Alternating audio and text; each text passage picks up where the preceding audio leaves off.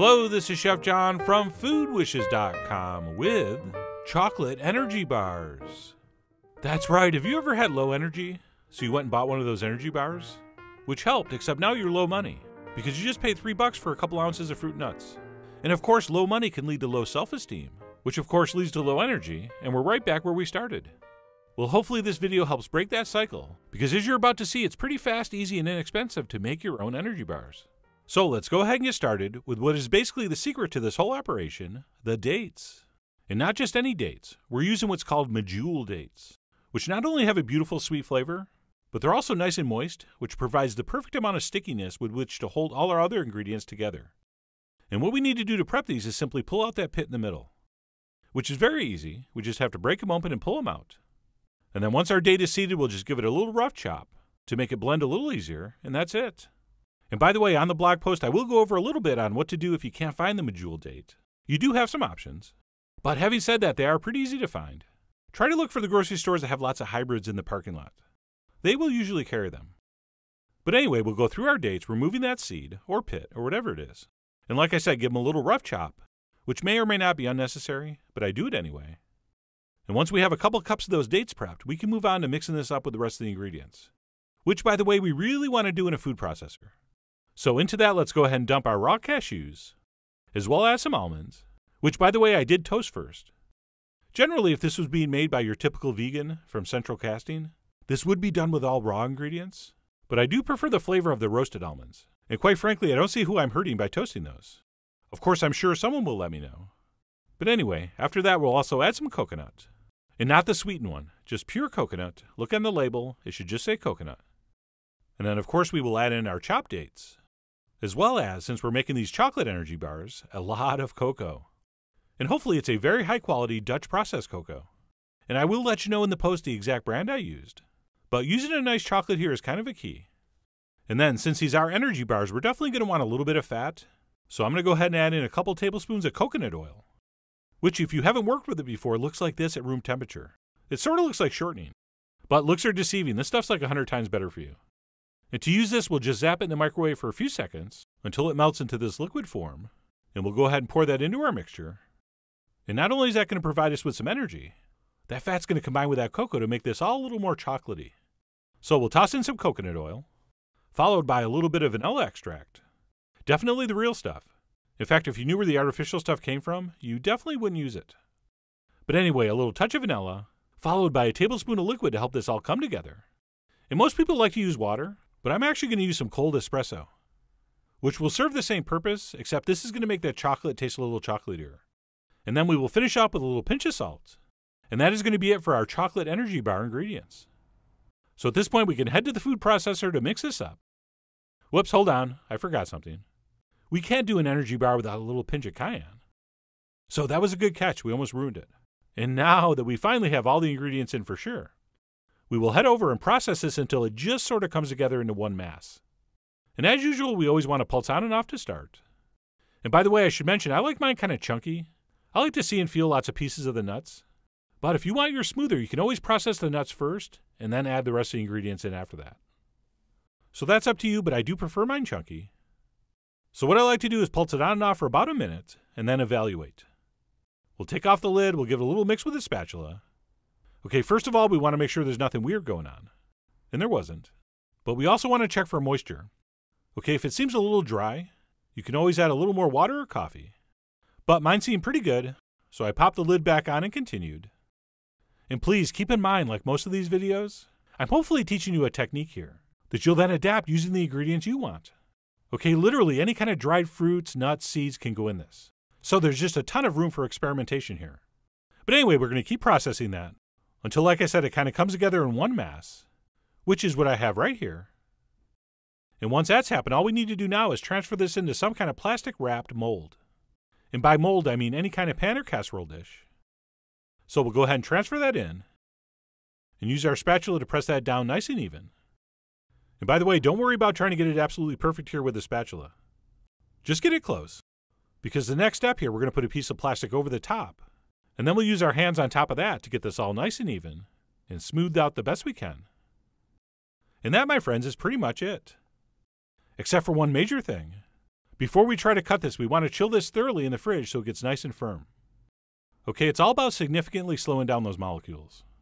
So let's go ahead and wrap that up and pop that in the fridge for two or three hours, or until, like I said, it gets firm enough to cut. So this is mine later that afternoon, and I'm going to go ahead and pull that out of the pan. It should feel firmer and significantly less sticky. And once we have that unwrapped with the smoother side up, all we need to do is cut this into whatever size bars we want.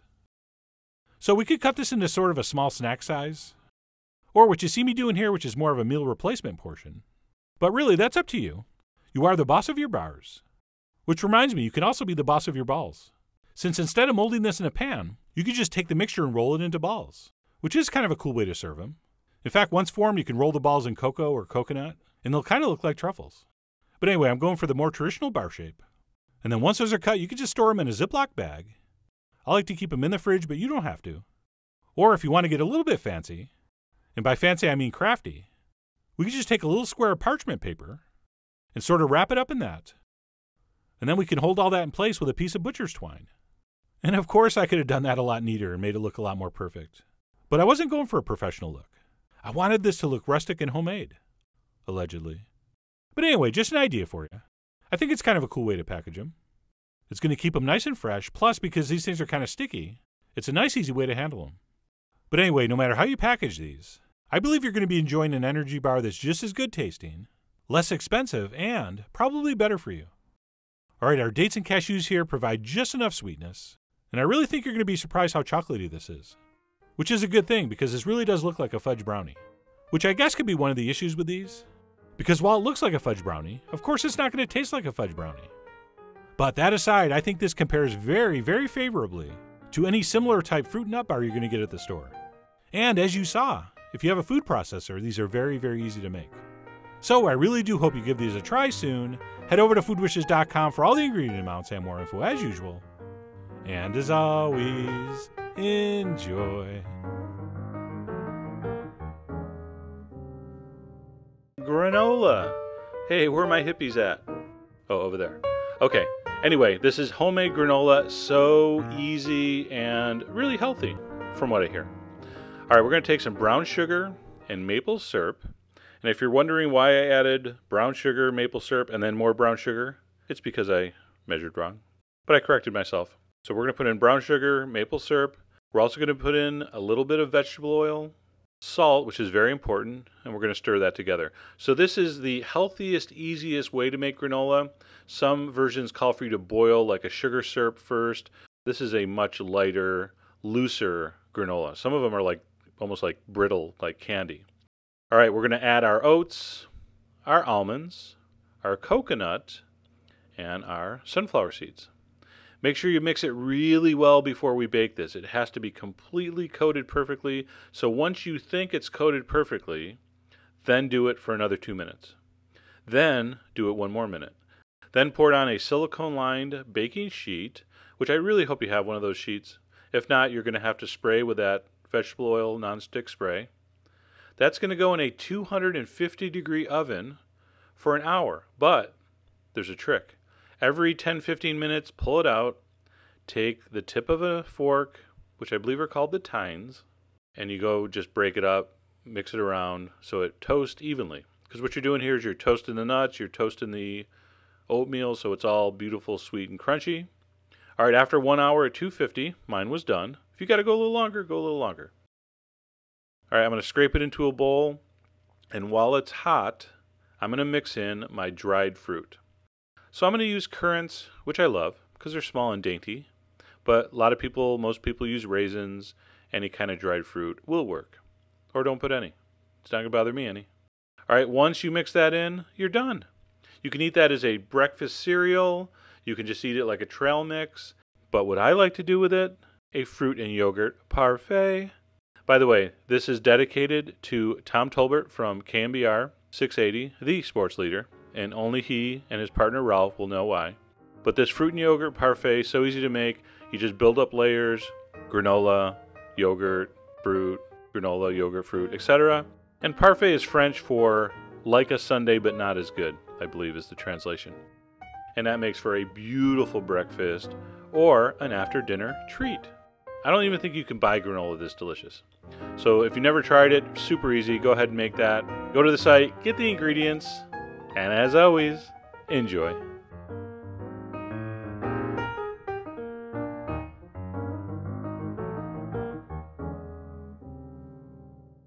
The Ben Franklin Breakfast Bowl. That's right, as Benjamin Franklin used to say, an apple a day keeps the doctor away, which I do believe to be true. Or at least I hope so, since I enjoy one of these beautiful breakfast bowls almost every morning. And since trying to eat better and feel better in the new year is such a popular resolution, I thought the timing was perfect to share this with you.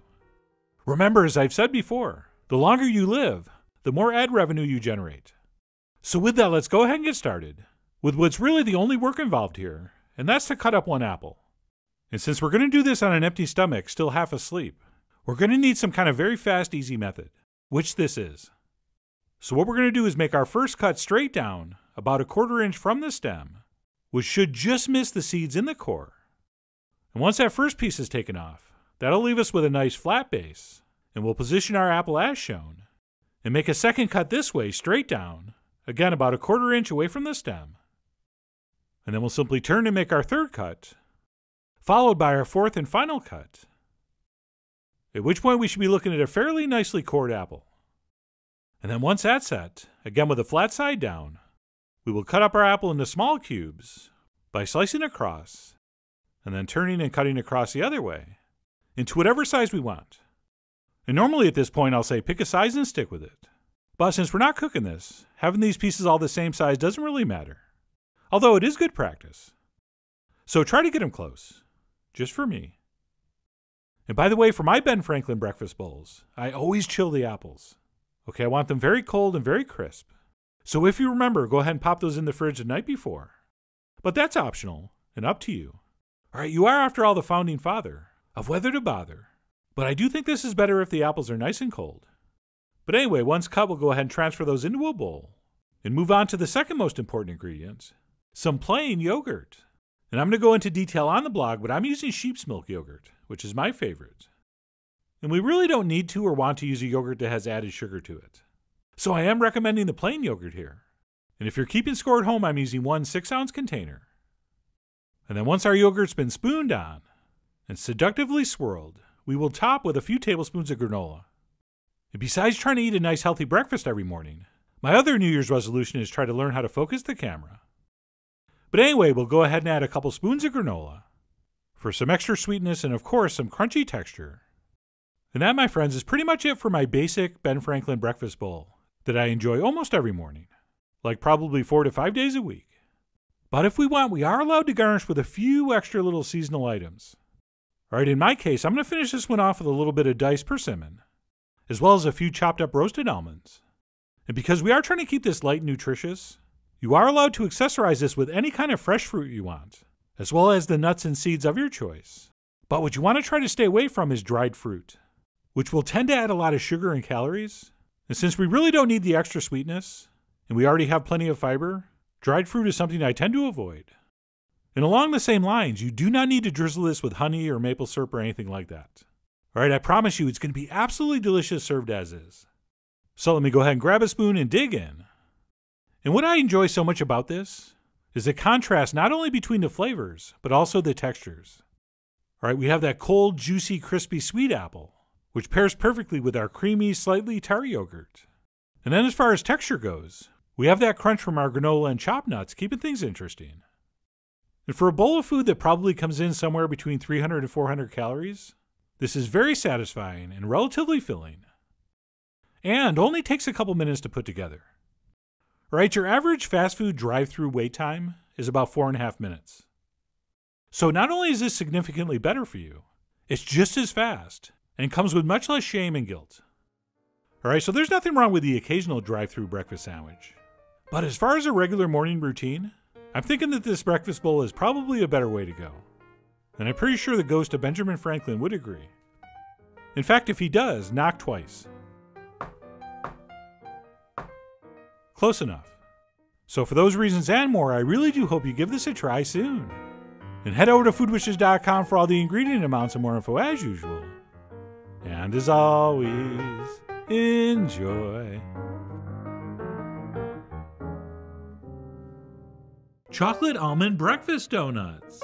That's right, I'm going to show you how to make gluten free, grain free, low carb, high protein donuts that are healthy enough to eat for breakfast without all the guilt and shame. And you might be thinking that sounds great, but they must taste terrible like all quote unquote healthy donuts. Well, that's the thing, they don't. They taste good really good, especially covered in chocolate. But we'll get into all the loopholes later. For now, let's get started with one of the easiest batters we've ever done, which is going to start with two whole large eggs, to which we will add a couple tablespoons of vegetable oil or the liquid fat of your choice. Okay, I went with something neutral in flavor here, but you could do melted butter or coconut oil, or speaking of healthy, extra virgin olive oil. And then we are going to need to sweeten this up a little bit, and for that, I'm going to use some maple syrup. And that's it, we'll go ahead and take a whisk and mix this very enthusiastically for a couple minutes until everything becomes beautifully emulsified and a little bit foamy. Oh, and if you wanted to add a little bit of vanilla extract here, that would be fine. And I actually did one of the test batches, and to be honest, I really didn't notice a big difference. So I'll leave that up to you. But anyway, once we have that mixed up, we'll stop and move on to the dry ingredients. Starting with the most important, some finely ground almond flour. And by the way, not all almond flours are ground the same way. So if you want yours to come out exactly like mine using the same amount, you're going to have to get yours from a guy named Bob who lives in a red mill down by the river. But having said that, anything ground similar to this should work out fine. And then we'll finish this off with some baking powder, a little bit of salt, and then a couple spoons of a high quality Dutch processed cocoa. Oh, yeah, that's the pretty one that has that beautiful deep red brown color. And then once everything's been bowled, we'll take a spatula and give this a thorough mixing. And if you're wondering, why didn't you mix up all the dry ingredients first, like you usually do? Or at the very least, break up all those clumps of almond meal? Well, that is a good question. And that's because almond flour does not contain any gluten, so there is absolutely no danger in overmixing this batter. Okay, you could mix this for an hour, and nothing bad would happen, other than maybe a sore shoulder. But anyway, the point is we will mix that fearlessly until all that almond flour has disappeared, at which point we can set that aside and we'll move on to prep our donut pan, which looks like this. And they say this is already nonstick, but they say a lot of things. So to hedge our bets, we will also give this a generous spray with some vegetable oil. And yes, you can just brush that in instead, or use some softened butter. And then the easiest way to get our batter into the pan would be to transfer it into a piping bag or one of these plastic zip top bags. And I don't do a lot of freeze frames, but I'm going to do one here, since I was just about to use my finger to clean off the spatula, which would have been a bad idea, since this batter is extremely sticky. So what we really want to do is use the inside of the bag to wipe off the spatula, thereby keeping our fingers nice and clean. And then once that's been transferred in, and we've sort of pushed it all together, we will take our scissors and cut about an inch off the corner and that should allow us to very efficiently and effectively, and without making a big mess, transfer this into our pan. Oh, and did I mention these are also high fiber? At least compared to a regular donut. But anyway, we'll go ahead and pipe in our batter as evenly as we can. And in a perfect world, when we got to that last one, we would have used up all our batter. But that world has not been discovered yet, and we're probably going to be left with a little bit still in the bag. So we will just go around adding a little more to each one wherever we think it makes sense. And then once that's been accomplished, we'll go ahead and use our finger to press down and even out the tops, but not with a dry finger. Right, we're going to want to dip it in water first, since as I mentioned, this batter is extremely sticky. And that's it. Once we have all our batter pressed down and evenly distributed, we'll go ahead and give that the old tappa tappa on the counter to settle that batter down even more. At which point, these are ready to transfer into the center of a 375 degree oven for about 9 or 10 minutes, or until they look like this. But as you know, we try not to go by looks in the kitchen. So we'll want to check to make sure a skewer comes out clean, which mine did. And then what we need to do is let these sit in the pan for 10 minutes so they don't break apart when we turn them out. So we will wait 600 seconds, at which point we should be able to safely turn over the pan to reveal some pretty gorgeous looking donuts, and some relatively light ones at that. Okay, some of these almond flour recipes are super dense and heavy, but this one was not. And then, like virtually every delicious baked good we want to eat right away, we cannot eat this one right away. For best results, we really do want to let these cool down to room temp, which is fine, because that's going to give us time to decorate these, which I'm going to do first by dipping the tops in some melted chocolate, And contrary to popular belief, if you use a nice high percentage chocolate, it really doesn't contain a lot of sugar. And don't even get me started on the antioxidants. And yes, believe it or not, additional fiber. So if you can, try to use something that's like 70 or 80% cacao, even though I'm cheating and using something that's 63. But anyway, I went ahead and dipped those in chocolate and then smoothed out the tops a little bit with a spoon before I moved on to garnishing the tops. And for that, I'm going to do a couple dipped in toasted coconut flakes. And if you're a fan of the good old fashioned Almond Joy candy bar, I think that would be the way to go. So I did two with coconut, and then moved on to do a couple more with chopped almonds. And I was originally going to use sliced, but then I thought it looked too similar to the coconut, and I decided to do them roughly chopped instead. And by the way, while your chocolate coating is still wet, you are able to do any kind of adjusting and fine tuning you want. And then for the two middle ones, I was just going to leave those plain chocolate, but after looking at the garnishes on either side, I decided they needed a little something. So I went around and applied a few chocolate chips. Which, by the way, Michelle thought was a big mistake. She thought those were redundant, unnecessary, and distracting. But anyway, you decide. I mean, you are, after all, the Samuel Morris of whether your donut looks like a stegosaurus. But regardless of what you garnish with, we're going to want to let those donuts cool completely and for that chocolate on top to firm up before we serve.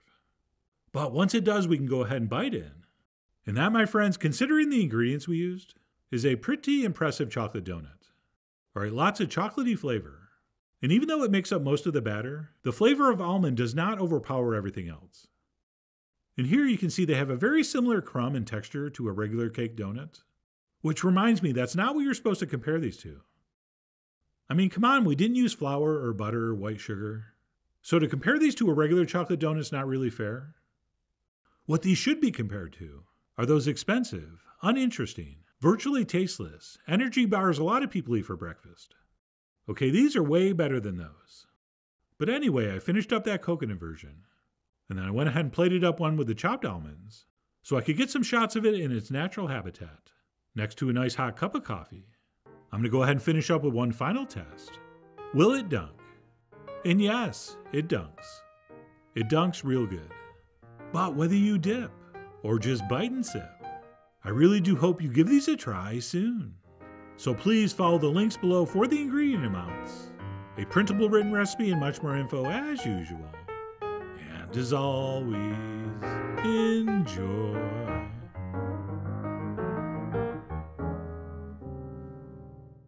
Minute steak and egg with red hot butter sauce.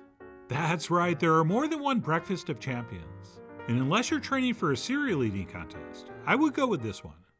And besides learning what might become your new favorite breakfast, if you pay attention, you're also going to pick up a couple bonus tips, like how to make cheap steak taste like expensive steak, and how to cook the perfect fried egg. So, with that, let's go ahead and get started by prepping our top sirloin. And for one serving, I'm going to suggest we use a 6 ounce piece of sirloin, which I'm going to get by cutting this 12 ounce piece in half, which I could do across like this, but thicker pieces are harder to pound than thinner pieces. So I'm actually going to turn it on its side and cut it in half like this. And by the way, this is not a game of speed, so take your time and slice that in two as evenly as you can. And of course, you can save this step and just have your butcher cut you six ounce pieces. So don't be afraid to ask them, they will do it. And then once we have what I think are the perfect size portions, we will go ahead and sandwich this piece between two pieces of plastic, and we will attempt to pound this out to about a quarter inch thick. And the good news about using top sirloin is that it's usually about half the price of the more expensive cuts like New York or ribeye or filet mignon. Right, it's probably a third of the price of filet mignon. But the bad news is it's very lean, which means it's not as tender or flavorful, which is why we're going to pound it nice and thin. Okay, so that takes care of the not being tender problem. And now that that's about a quarter inch thick, we can work on making it more flavorful, which we'll do by generously seasoning both sides with salt and freshly ground black pepper, plus a light but very important sprinkling of breadcrumbs.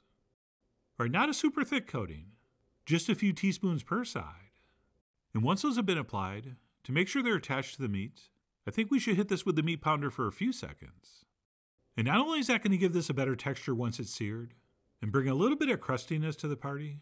But somehow, someway, I also think it makes this taste better as well. Oh, and please note I am using the fine breadcrumbs, not the panko style, which I think would work, But because of the short cooking time, I think the finer the crumb the better. So we will season and crumb both sides. At which point our minute steak is ready to cook for about a minute per side. And we'll do that in a pan set over high heat, into which we're going to spoon a couple tablespoons of clarified butter, which, as you know, is just melted butter with that white foamy stuff skimmed off. And one of the keys to a minute steak, besides pounding the meat nice and thin, is that we have to let this butter get smoking hot before we add the steak to the pan. So we will stand right there observing carefully. And as soon as that clarified butter just starts to smoke, we will quickly but very carefully lay our steak in the pan, at which point we will cook it for about a minute per side. And of course, that depends on how thick you pounded your meat, and also your desired doneness level. So I only went for about a minute 15 seconds per side. And as soon as we flip that over, we can reduce our heat a little bit down to like medium high, since that pan is super hot. But anyway, we'll give that second side about a minute, or until we see a little bit of pink juice pool on the top. And that's it. I like to give it one last flip to sear that juice onto the pan, at which point we'll turn off the heat and we'll transfer that to a warm plate, and we'll reserve it while we cook our perfect fried egg. And what I like to do is let that pan cool for about 30 seconds or so, during which time we'll add another teaspoon of clarified butter, and we'll turn our heat back on to medium, and we will transfer one large egg into the pan, which I like to crack in a ramekin to make sure the yolk's not broken. Speaking of which, as soon as that's in the pan, I like to take the edge of a spoon or a spatula and break through that membrane that holds the white together, which has a name, which I don't know, so I just call it the membrane. And what's going to happen is that egg white's going to run to the other side, and it's not only going to make our yolk centered, so it looks nice on the plate, but now all our egg white's the same thickness, which means it's going to cook very uniformly. And it's that little simple move there that's the secret to a perfectly fried egg. Oh, and yes, we definitely want to give this a pinch of salt. And that's it. We'll cook this on medium until the edges and bottom are nice and browned and crispy, and that white is cooked through, which it almost was at this point, but not quite. And then our yolk, of course, should be warm, but definitely not cooked through. Since if you're not going to make this with a runny egg, what is the point? In fact, if you've never been able to do a runny egg, please, I beg you, make this the recipe where you try it. Trust me, you will never go back. And that's it. Once the egg is cooked to our liking, we'll go ahead and turn off the heat and place that on our steak. And then we'll finish up by making one of the greatest two ingredient sauces of all time, which involves one chunk of butter and a tablespoon or two of Louisiana hot sauce. And all we have to do is swirl those things together in the hot pan, and that butter will melt and emulsify into that acidic sauce. And that's it, we're ready to top our minute steak and egg. Oh, and in the spirit of full disclosure, on the way to the plate, I did stir in a couple teaspoons of water, since by the time I moved the tripod and camera, the heat in the pan had sort of dried the sauce out. So, what I'm trying to say is maybe stir a couple teaspoons of water into yours as well, especially if it looks like it's too dry or separated. And then once we have that sauce, we can finish up with some chives, or some green onions, or in my case, some really small green onions that look like chives. And those landed in the perfect spots, except for that one big piece. So I went ahead and did a little what I call fat finger food styling. And I got everything exactly where I wanted. And after taking a few contractually obligated pictures, I grabbed a fork and knife and dug in. And I started by busting that egg right in the yolk and spread over what is basically the second sauce. And that, my friends, was just simply incredible. Right, that meat was perfectly pink and nice and juicy. And as far as the texture goes, it was every bit as tender as a steak twice or three times the price. And while it doesn't have quite the same amount of breading as like a chicken fried steak would, that little bit of starch on the surface from the breadcrumb does wonderful things, both texturally and flavor wise. And it's just a nicer experience than if we'd cooked the meat plain. And I do think a nice vinegary, Louisiana style hot sauce works great here. But you could easily switch that out for your favorite Asian hot sauce. And I think it would be equally magnificent. But anyway, those type of tweaks are up to you. I mean, you guys are after all the Jane Campions of your breakfast of champions. And speaking of westerns, I think this would be really nice with some fire roasted chilies. Or if we go even further west to California, a few slices of avocado would be beautiful as well. So this is something you can definitely embellish if you want. But anyway, that's it. What I'm calling minute steak and egg. This thing was one piece of toast away from perfection.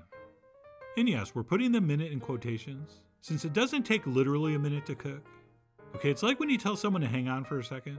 It's kind of like that. But the point is, it is super fast and very easy, which is why I really do hope you give this a try soon. So please follow the links below for the ingredient amounts, a printable written recipe, and much more info as usual. And as always, enjoy.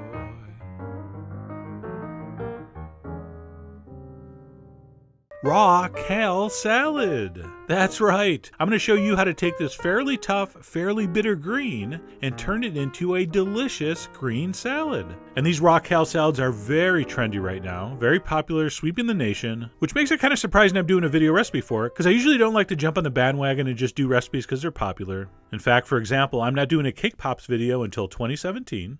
But anyway, despite its trendiness, this is such a great technique and such a delicious and healthy idea I just had to show you. Okay? So I have one bunch of kale. Of course, this has been thoroughly washed and dried. All right, dirty and or wet greens, not a great idea for any kind of salad recipe. And the first step in the prep is to remove the very, very tough stem from the tender leaves. And actually, that's not quite true. The leaves aren't that tender, but they're way more tender than that stem, which I don't even think is actually a stem. I think it's a rib. But anyway, this step is very simple. Take the stem in one hand, and with your other hand, simply strip off the leafy greens. It's actually very quick and easy. And really, that's all there is to it.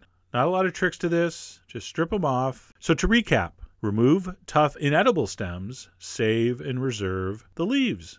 All right, once the leaves are prepped, we're going to go to phase two, which is the slicing. So I want you to grab a small handful of the leaves, kind of wad them up, roll them up tightly, and then take a nice big sharp knife and just simply slice it across. I'm going about every quarter inch or so. You could even go a little thinner if you want, but I wouldn't go much bigger.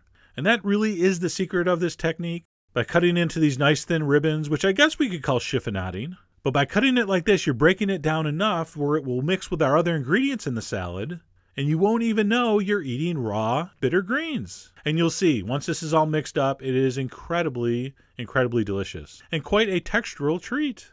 So we're to prep our kale, we're to throw it in a nice big bowl, and then it's time to think about what other ingredients we want to put in here. So, because kale is kind of a tough and bitter green, what really works well with it is sweet and crunchy. So, I had some nice ripe persimmons. I should do a video on persimmons. I'll do that someday. So, some sliced persimmons. I also slivered a nice crisp apple on my vegetable slicer.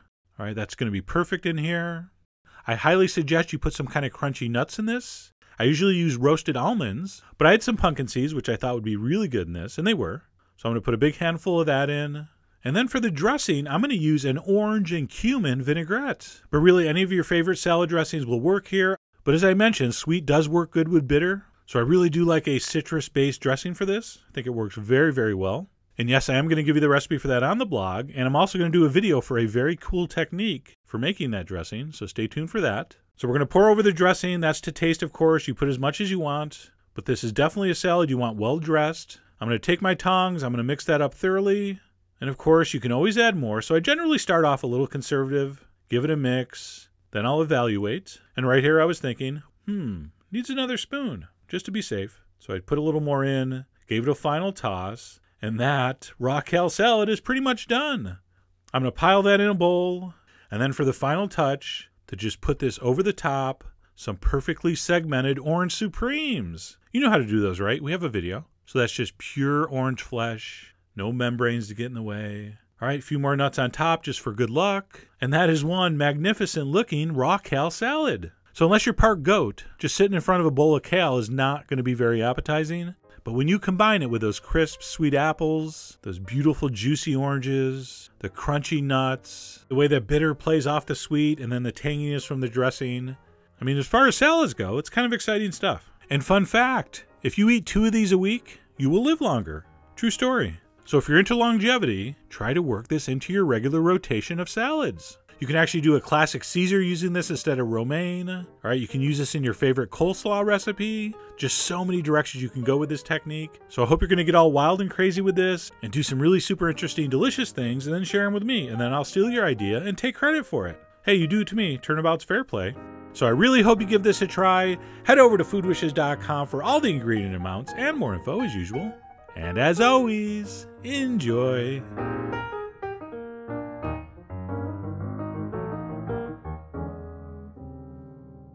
Broccoli salad. So simple, so refreshing, so delicious. And I hear although I'm no expert. I hear it's good for you. So here's how I put this together. We're going to take a pound and a half of fresh broccoli. I like to cut just a little end off there. Usually it's kind of a little dry and ugly. We're going to cut the stem in quarters. And then, very important, when you cut the tops of broccoli, turn it this way and go right down the middle and then in quarters. Don't worry what the tops look like. You got to get the stems even because that's what you need to cook evenly. So there we go. So it's all separated. Like I said, the stems you want sort of uniform, the tops does not matter. We're going to take a large pot of boiling salted water, and I'm going to boil those for about five to six minutes. Results may vary. All right, so you got to kind of play it by ear. Take a little paring knife, when the stem are just starting to get tender. There's still a little resistance there. They're not soft. They're still just a little bit firm. We're going to take those out, put them in some very cold water. I don't waste my ice when I do blanched vegetables. Very cold water works. In a restaurant with an ice machine, sure, go ahead, throw a scoop of ice in there. But at home, save the ice for the cocktails. All right, when we drain these, we're going to put the flower side down so the water runs out. If you just put them any old way, those heads are kind of like sponges. They really trap the water. So I like to drain them like that. Set that aside. Make sure they drain at least a half hour. The dressing, so simple. Lots of garlic, fresh lemon juice, rice vinegar, some salt, a little bit of pepper. I know what you think's coming next. Cayenne. Wrong. Red chili flakes. A little bit of Dijon. We're going to whisk that up, and then we're going to drizzle in some olive oil. All the amounts will be on the site. Make sure you get those critical measurements. Okay, you're going to whisk in your oil and you're going to have a beautiful emulsified dressing. You know the drill. Very slow at first. Once it starts to come together and thickens, then you can add a little quicker. My broccoli is drained, very well drained. Wet broccoli, no good. We're going to toss that with our dressing. Now here's the trick. The florets really will soak up that dressing so you want to make sure it's all evenly mixed. So I give it a toss, I let it sit for five minutes, and then I toss it again. Now, it's perfect to serve like this. In fact, it's beautiful served like this. Or you can refrigerate for up to half hour, hour max. Otherwise, it starts to break down. This is not something you want to marinate and you know leave in the fridge forever. So toss it relatively close to when you're going to eat, and you will be happy. I kind of put my florets around in a little circle. I put the stems in the middle. That's my presentation. Get your own, or use mine. You'll notice I'm in the window here. The sun was going in and out of the clouds, so that's why uh, you get that light effect here. It's all part of the show. I like to finish with a little red chili flake, and there you go. Cold broccoli salad with a spicy lemon garlic dressing. Incredibly simple, amazing side dish for all your summer barbecues or cookouts or whatever. I hope you give that a try. All the ingredients are on the site.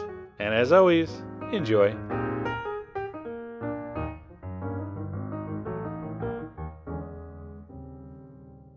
Smash cucumber salad. That's right, out of all the various culinary techniques, I would say smashing is probably the easiest to learn and most fun. And by utilizing this very primitive technique, we're not only going to relieve a little bit of stress, we're also going to transform the always boring cucumber into something that's actually exciting. And I know that is hard to believe, but it's true, as you will hopefully find out. So, with that, let's go ahead and get started by prepping our cucumbers. And by prepping, we mean smashing. And the variety I'll be forcibly flattening today is the English cucumber, which is my favorite choice for this since the skin is very thin and tender and not too bitter. But having said that, any variety of cucumber you like to eat will work here. And what we'll do before we start smashing is cover this with a piece of plastic so as to hopefully minimize potential splattering. And then once that cucumber is covered, all we need to do is smash it flat using any kind of flat heavy object. Like for example this meat pounder. Okay, other popular choices would be the flat of a cleaver, or even a small pot or pan. It really doesn't matter as long as our cucumber gets smashed as shown. So you decide. You are, after all, the Gallagher, of which smashing tool you prefer. And then what we'll do once our cucumber's been successfully smashed flat is unwrap it and cut it up into smaller pieces which I'm going to make, I don't know, about an inch to an inch and a half wide. And of course, you know the drill. The exact size doesn't really matter, as long as you pick a size and stick with it. And in case you're wondering, the reason we smash the cucumbers is threefold. Okay, we're doing it for appearance and texture. But most importantly, we're doing it for flavor. Since believe it or not, if we smash our cucumber before we cut it, it will actually have a different and what many people consider a better flavor than if we didn't. Okay, a good analogy would be how we prep our garlic for aioli, where instead of slicing or chopping, we actually crush the garlic, which ends up bringing out a lot more flavor. So while not exactly the same, that's sort of what's going on here. But anyway, I went ahead and smashed and cut up two English cucumbers, at which point we're going to want to transfer those into some kind of strainer set over a bowl. Because the next step, while not as fun as smashing, is almost as important. And what that entails is sprinkling over some sugar and salt over our cucumbers, and then taking a spatula and mixing that very well. And then what we're going to do once these three ingredients are combined is set that in the fridge for anywhere between 30 and 60 minutes. And during that time, the sugar and salt's going to draw liquid out of the cucumbers, which will drain into the bowl below. And that's going to accomplish two things that I will cover later when we pull this out of the fridge. So for now, let's just go ahead and transfer that into the fridge for, like I said, between 30 and 60 minutes. And while we're waiting, we can go ahead and mix up our dressing. And no, to answer your question, I do not get free beer sent to me because I show it in my fridge. Not that I wouldn't. I'm looking at you, every beer company in America. But anyway, we'll pop that in the fridge and move on to the dressing. And we'll start with some crushed garlic in a mixing bowl. And then to that, we will add some rice vinegar, as well as a little bit of soy sauce. And then we'll finish up with the last two ingredients, which are a little touch of sesame oil. And that is a key ingredient here, so don't skip that. And then let's finish up with some chili flakes. And my favorite variety to use for this is Korean chili flakes, since there's no seeds. Plus, they're not too spicy, which is why I'm not adding any cayenne. Okay, don't forget, we're making this a serve next to hot, smoky, maybe spicy meats. So not only do we want that contrast in temperature, but we also don't want the spice level fighting with whatever we pair this with. But regardless, no matter what chili you decide to use, all we need to do is give this a quick whisk, and that's it. It is ready to dress our cucumbers with. Speaking of which, let's go ahead and pull those out of the fridge and see what they look like about 30 minutes later. And as predicted, that salt and sugar has drawn a lot of liquid out of the cucumbers, which not only is going to improve the texture and concentrate the flavor, but also apparently a lot of the stuff that makes a cucumber bitter is in that liquid. So, mission accomplished. And we can now go ahead and transfer our drained cucumbers into our dressing. And we will go ahead and give that a mix. And theoretically, as soon as this is all combined and we've tasted and adjusted for seasoning, we can, if we want, go ahead and serve this immediately, which, according to many smashed cucumber salad aficionados, is the best way to go. However, other cucumber smashers, such as myself, think it's better to leave this in the fridge for about 30 minutes so that our cucumbers have enough time to mingle with the dressing. So that's what I do. After mixing and tasting for seasoning, I'll go ahead and wrap that up and pop it in the fridge for about 30 minutes, and maybe even give it a toss while it sits. And I'll probably touch on that in the blog post. I mean, I got to write about something. But either way, whether you let this sit in the fridge for a little while or serve it immediately, we will go ahead and transfer that into some kind of serving container. And then one optional step, I like to grab a spoon and spend about 15 minutes moving around individual pieces of cucumber so that they look perfect for the pictures. And then once that's said, I do like to spoon over a little extra dressing. Although a lot of the experts say to serve it drained, I always like to have a little something at the bottom to dip in. And then last but not least, we will finish up with some toasted sesame seeds. And that's it. Our smashed cucumber salad is ready to enjoy. Which is probably best done with a fork. But I decided to go ahead and impress you with my chopstick game, which is pretty strong. Don't let the fact that I stabbed that first one throw you off. But regardless, no matter how you decide to get this up to your face, you are going to be very glad you did. Okay, obviously this is cold, and thanks to the salt and sugar and the draining time, nice and crisp. But above and beyond the temperature and texture, the flavors here are so bright and fresh and vibrant and addictive. It's actually hard to eat slow. Unless, of course, you're using chopsticks. But anyway, the point is, this is shockingly delicious, and all thanks to a little bit of smashing. Of course, having said that, only a crazy person is going to sit and eat a whole bowl of cucumber salad by itself. So once this video ends, I want you to start brainstorming exactly what you're going to serve this with. And I'll give you one idea to get you started and that would be some beautiful, sticky, smoky, barbecued baby back ribs. So that really was an amazing pairing, as are so many other things that are going to come off your grill this summer. So I really do hope you give this a try soon. Head over to foodwishes.com for all the ingredient amounts and more info as usual. And as always, enjoy.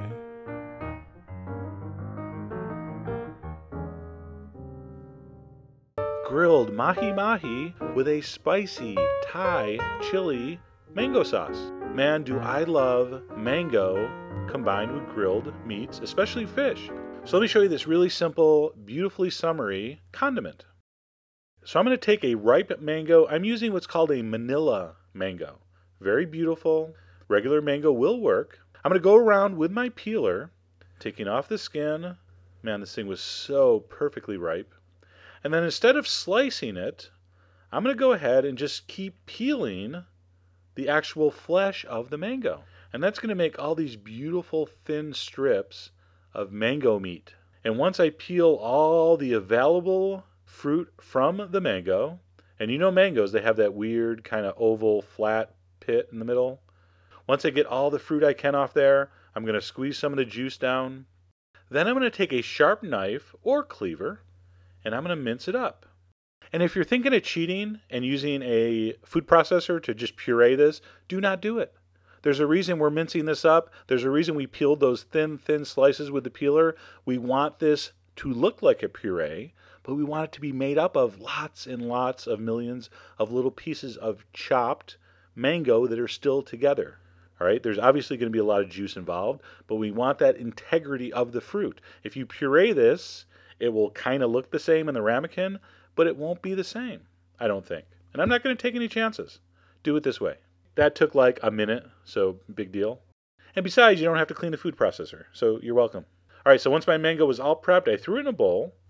And then because this is called a Thai chili mango sauce, I took one of these Thai chilies, and are these hot?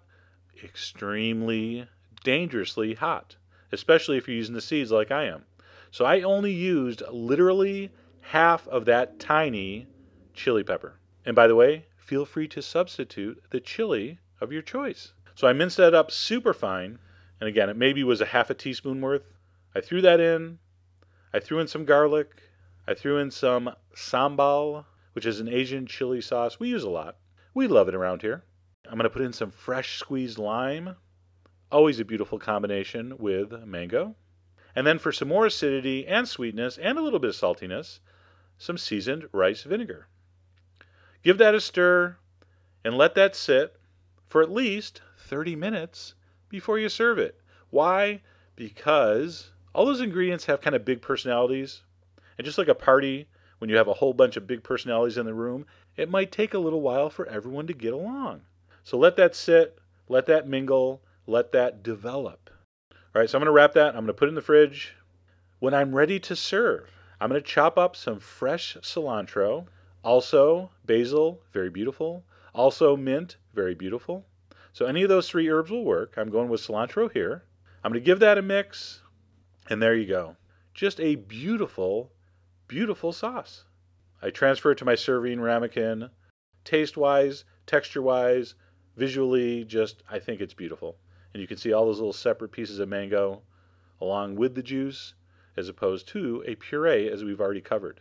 Now, sorry for the false advertising. This is not a video on how to grill mahi mahi. So maybe I'll do a demo on that. But you know what? You can grill mahi mahi or salmon or tuna or any kind of other firm flesh fish like swordfish would be great. And this would be perfect on it. This was about an inch thick piece. So it just took, you know, three or four minutes per side. All right. So you can do that. If that's a little dark for your taste, no problem. Don't call it grilled mahi mahi, call it blackened mahi mahi. Who'll know the difference? The other cool thing, this is literally good on anything that would come off your grill. Name something, go ahead. Yes, it would be good with that. Whatever you just said, it will be delicious with that. And there you go. Beautiful, juicy, tender fish with that spicy, brilliantly, brightly flavored mango sauce. I love this. So I really hope you give this a try. Go check out foodwishes.com for more information and all the ingredients, as usual. And as always, enjoy.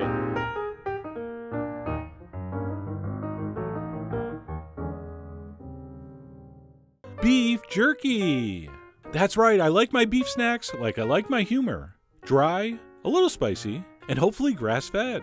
And if you've never tried making this at home before, I think you're going to be pretty surprised just how easy it is. So let's go ahead and get started with what's basically a simple two step process. We're going to marinate and then dehydrate. So, first up, we're going to make our top secret marinade. And by top secret, of course, I mean this is what pretty much everyone uses. So, we will start off with a whole bunch of Worcestershire sauce. Nailed it. And then we'll also add an equal amount of soy sauce. So those two things make up the majority of this mixture.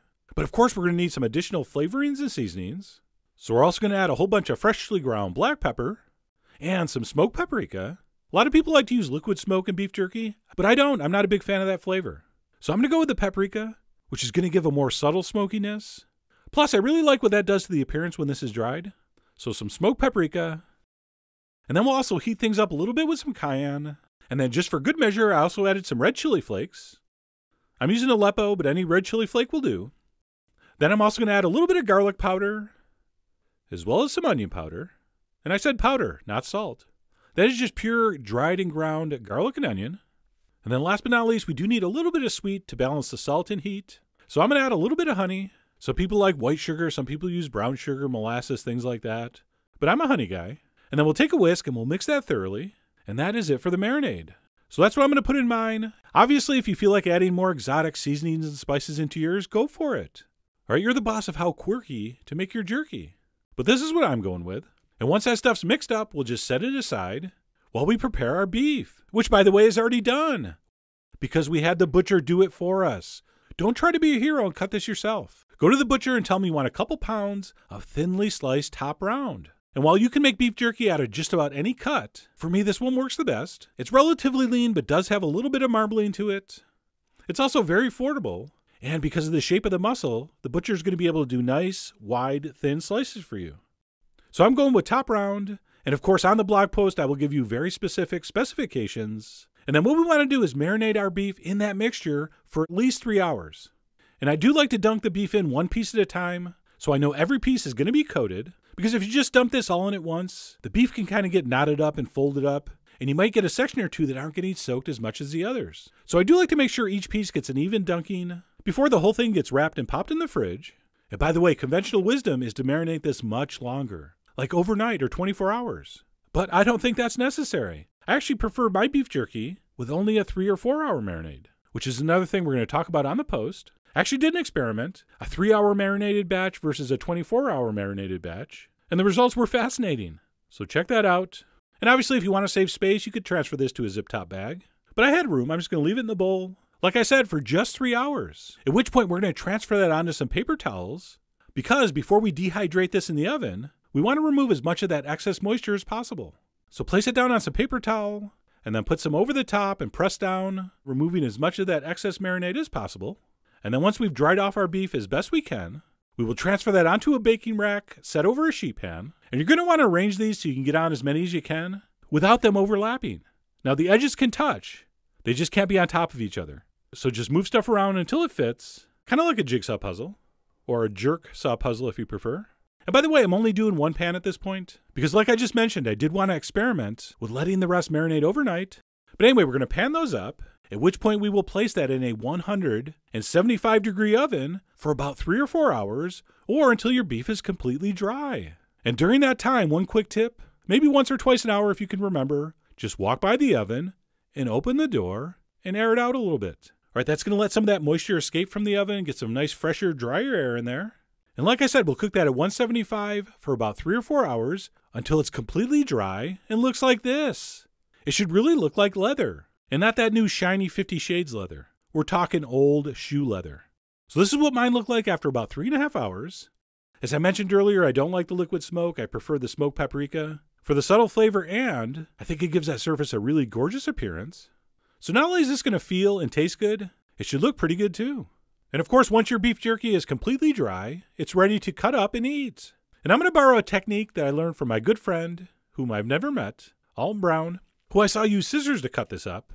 And I thought, that's a good idea. So we'll cut ours into some bite sized pieces. And that really was some delicious beef jerky. Just far superior in taste and texture to anything you're going to get in a supermarket. And once we have that all cut up, you can just keep it in some kind of airtight container. So I'm going to use one of these latch top jars for a slightly fancier and more hipster friendly presentation. And no, you don't have to refrigerate this. Because of the salt content and the fact it's dry, this stuff should be very shelf stable. And I know it's still a ways away, but my wife Michelle commented on what a great Father's Day gift this could make. In fact, let's take a quick poll of all the dads out there. What would you rather get for Father's Day? A tie or a big jar of this? Yep, that's what we thought. But anyway, that's it. Homemade beef jerky, virtually identical to what you would get at a convenience store, except it has like 27 less ingredients. All right? So I really do hope you give this a try. Head over to foodwishes.com for all the ingredient amounts and more info as usual. And as always, enjoy. Fried sweet plantains. That's right. One of my favorite meatless meals of all time is fried plantains with some beans and rice. So simple, so satisfying, so delicious, and I bet a lot of you have never even tried plantains, even though they're pretty much available in any big American grocery store. So, the first thing you need to know about plantains is that they're not all the same. All right, so the darker, the blacker the plantain, the sweeter it's going to be. This green one here hardly has any sugar at all. Okay, very starchy, closer to a, you know, a potato than a piece of fruit. And as it ripens, it turns yellow, then black, and the darker it is, the sweeter it is. So you can get these jet black. I prefer it sort of this color, almost black, because I'm going to eat this as a savory dish, like a dinner with beans and rice. I don't want something that's like dessert sweet. So know when you pick out your plantain, the darker it is, the sweeter it will be. All right? Okay, so prepping it very easy. I'm going to take a knife, cut off the ends, make a little cut down the side here, peel off the peel, and then you have lots of options on how to cut this. You could just cut it simply in rounds across that way. You could cut it down the middle and saute the halves or quarters. But what I like to do, which I think looks pretty cool, is take my knife at a, like a 45 degree angle, or even maybe a little more severe, and make like half inch diagonal cuts like that. And I think that fries up real nice and looks cool. Okay? So that's how I'm going to cut mine. I'm going to trim the bottoms off those ends just so they sit flat. You don't have to do that. In fact, it's probably wasting. I probably shouldn't have done that. All right, in a non-stick heavy-duty saute pan on medium-high heat, I'm going to heat up some vegetable oil. I'm going to put in my plantain slices, and this could not be easier. I'm simply going to cook these until golden brown, about four, five, six minutes per side, depending. Once they get sizzling here, I'm going to turn the heat down to medium so they don't brown too fast. I want to make sure they're nice and tender all the way through. Okay, now often you'll see these done in a lot more oil, like almost deep fried, which will cook faster, which works great, but I didn't want to use all that oil. So here I'm using just a couple tablespoons of vegetable oil. It takes a little longer to cook them, and you got to turn them, but you know, the trade-off is you don't have to use as much oil, and it still comes out really, really nice. And don't be afraid to play with your food. A lot of chefs, oh, only turn it once, only no, don't keep moving it. Listen, it's our food. We're going to play with it if we want. So don't be afraid to flip them around a few times. What you want is a nice, crusty, caramelized surface with a beautiful, tender, sweet middle. All right? So right there, I figured, hey, that's where mine are. I'm going to stop and eat.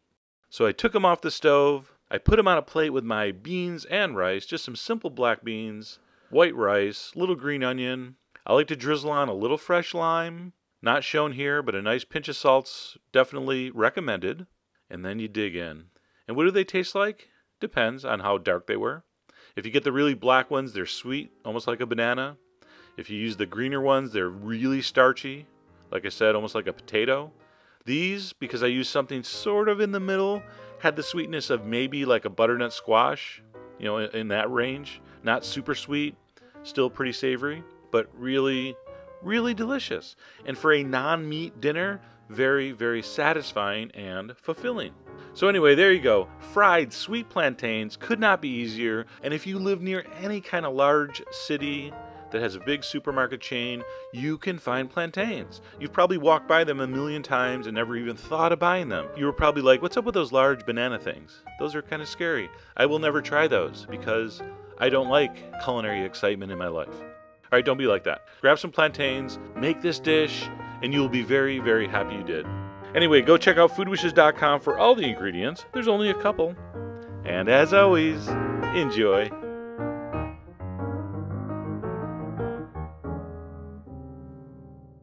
How to make your own homemade sports drink. That's right. Would you rather pay $2 a bottle for something that's artificially flavored, artificially colored, and probably not that great for you? or one you can make yourself in just minutes using real ingredients for just pennies a bottle. I know it's a tough call, so don't answer yet. Why don't you think about it while I get started with what I like to call Greaterade? And that's because it's just like Gatorade, only greater. And we will begin this incredibly easy formula by adding one cup of water to a kettle or pot. And yes, we are going to add a lot more water to this, but what we want to do is start with just one cup in which to dissolve our ingredients. The first of which would be our sweetener, in my case, honey. And yes, if you want, you could certainly use regular sugar, but I do like the honey, and I think most people would agree it's probably better for you. In fact, the only people that think white sugar is just as healthy work for the sugar companies. And you have to admit, that's kind of a weird coincidence. But anyway, to do a sports drink, we're going to need some type of sweetener, as well as some type of salt. And personally, I'm going to recommend Himalayan pink salt, which is not only a pure salt with no additives, but it also contains lots of trace minerals that apparently your body would enjoy replacing. So we'll need to toss in some salt, preferably pink. And then next up, we're going to add one optional, but easy to find ingredient a powdered calcium and magnesium supplement. And from what I hear, that stuff's great for your muscles and nervous system, among other things. So a little touch of the old calcium and magnesium powder. And then last but not least, we will add just a little touch of cayenne. No, not enough to taste, but still enough to work a little magic on your insides. And then what we'll do at this point is grab a whisk and bring this over to the stove and set that on low heat, and we will warm that up, stirring until everything's dissolved, which is only going to take a minute. So we don't want this to simmer or boil, we simply want it to heat up, and how you'll know you're done is everything will be dissolved. And it should look something like this. And by the way, don't worry if you get a couple dark particles of the salt that never dissolve. Those are just rocks. And then what we'll want to do is let this cool down to room temperature while we pull together our fruit juices. So for this recipe, we're going to want one cup of any kind of fruit juice, preferably freshly squeezed, please. So I'm going to start with some orange juice, which as you can see, I'm straining to remove the pulp. I will admit orange juice pulp is my kryptonite, although it really doesn't sap my strength as much as it just annoys me. But anyway, my juice blend is going to start with some orange juice, to which I'm going to squeeze in a couple limes, as well as a couple nice juicy lemons. And people, please stop emailing me telling me to microwave the lemons first to make them juicier. Everybody knows that one. And like I said, we're going to want to end up with about a cup, or a little bit over. And then all we have to do to finish our Greaterade is add our freshly squeezed juice to our sports drink base. We can also go ahead and dump in the rest of the water. And we will take a whisk and give that a stir. And believe it or not, that's it. Our homemade sports drink is done. And not only is this going to taste as good, if not better, even the color's pretty close. I mean, come on, that looks good enough to be mistaken for artificial. So, above and beyond saving all that money, I really think you're going to love how this looks and tastes. And speaking of taste, let me go ahead and try a little. And fair warning if you use the same ingredient amounts that I do, this will not be as sweet as the stuff from the store, which works for me because I think those things are way too sweet. But of course, if you want it sweeter, just add more sugar or honey or whatever you're using. You are the Barton Fink of your homemade sports drink, so feel free to adjust the sweetness as well as the saltiness or amount of fruit juice for that matter. And of course, we could just store this in the fridge in a pitcher. Or better yet, fill up some plastic bottles so you can drink it on the go. Believe me, this is the video those big drink companies do not want you to see. In fact, I wouldn't be surprised if they send someone to pay me a visit. You know, to have a little chat, and possibly even neutralize me. Although that's probably a little dramatic. But anyway, the point is this is just really fast and easy to make. And as we've already discussed, you get a far superior product at a much, much cheaper price. So I really do hope you give this a try soon. Head over to foodwishes.com for all the ingredient amounts and more info as usual. And as always, enjoy.